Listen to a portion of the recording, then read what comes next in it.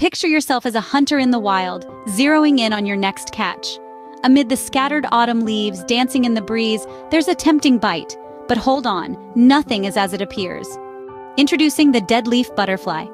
These creatures are experts at camouflage, merging flawlessly with their environment. Their wings imitate the appearance of a withered leaf flawlessly.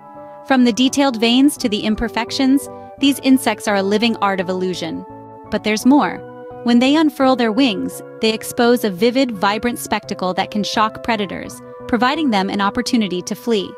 The deadleaf butterfly is more than just a beautiful creature. It's a crafty survivor using nature's own deception against its foes.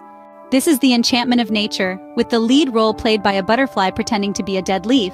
And the act, well, it's absolutely mesmerizing.